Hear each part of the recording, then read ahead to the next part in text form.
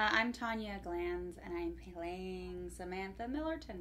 Samantha is an artist. She um, is a found artist, so she, it's kind of like a junk art uh, downtown, and she is an activist, uh, environmentalist. Samantha has uh, is a rebel rouser, and she uh, gets other people riled up, and she's often uh, pretty angry about these environmental issues that she's creating pieces about. So her latest target is um, Addison, and uh, she threatens him in a protest as she's getting arrested, and she says, "I'm going to show the world what you're really made of."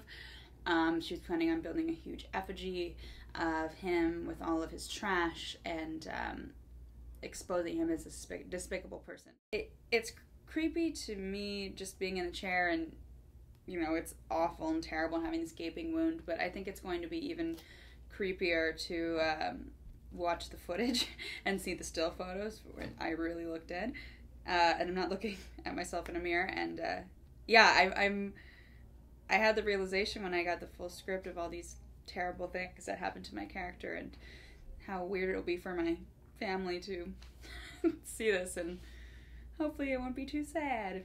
But yeah, it's intense. It's intense. It'll be good and scary.